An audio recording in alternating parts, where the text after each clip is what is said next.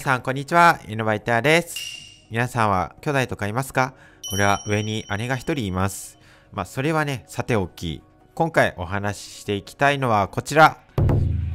先住シアル、なぜ兄弟キャラが多いのか？ということで、先住シアルを遊んでいる方や、初めて遊ぶ方なども、最初ね、驚くと思うんですよ。なぜなら、まあまあな数、兄弟がいるから。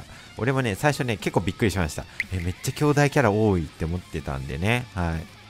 ということで、今回はこの疑問について考えていきたいと思います。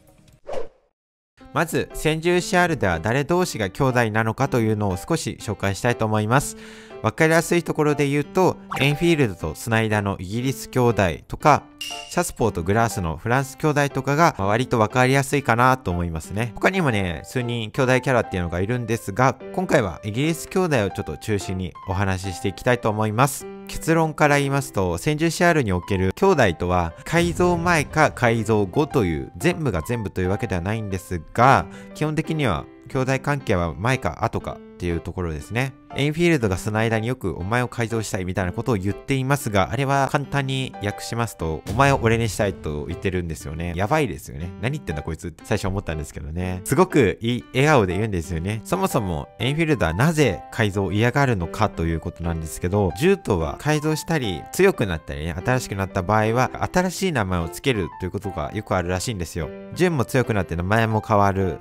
それってまあつまり別人なのではって思うんですよね。嫌がってるのって自分が自分じゃなくなるのが嫌って言ってるような感じなのかなって。誰だって自分じゃなくなるのは嫌だろうっていう鬼畜な弟ですよ全く。話を戻すんですがどうして先住者あるには兄弟キャラが多いのかという話なんですが銃の歴史的に改造改善というのは多く繰り返されてるみたいで強くて新しい銃を生み出してきてるんですよねそれで。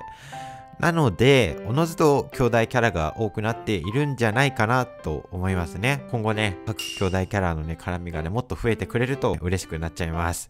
運営様、お願いします。はい。ということで、先住シャールの兄弟についてお話ししていきました。皆さんはどの兄弟が好きですか？俺はイギリス兄弟がね、やっぱり好きですね。あの二人のね、雰囲気がね、本当に大好き。では、今回の動画はここまでになります。よかったら Twitter のフォロー、チャンネル登録、高評価の方よろしくお願いします。以上、イノバイテアでした。またね